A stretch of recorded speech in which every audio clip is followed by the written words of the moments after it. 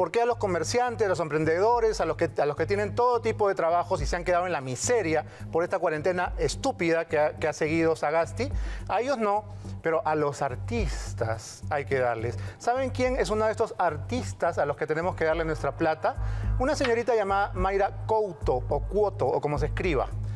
Ella ha ganado un premio, ¿no? Porque acá se ganan premios, como se ganan vacunas, por suerte, y no te toca el placebo, sino que si eres de la camarilla te toca la vacuna, por suerte, ¿no? Y entonces a, a Mayra le, le ha tocado un premio de 75 mil soles para que ella haga su propia miniserie. ¡Ay, qué lindo!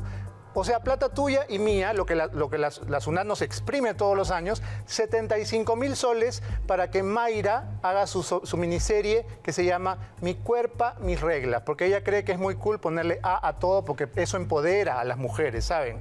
Entonces acá vamos a empezar a hablar todo con la A para que vean lo feministas que somos. ¿Hay video o no hay video? No hay video. Bueno, yo quiero decirle algo a, a Mayra, de verdad, con todo cariño. Y la verdad es que voy a hablarte en tu idioma, amiga. Nosotras las peruanas no tenemos por qué hacer financiamiento para tu bodria de miniseria con la dinera de nuestras impuestas.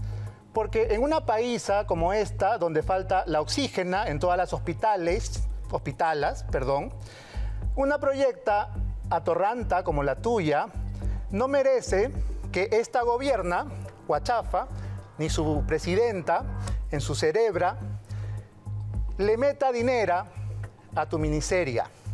En conclusión, ¿ah? nos llegas altamente a la punta de la pena. Atentamente, tu amiga Beta Ortiza.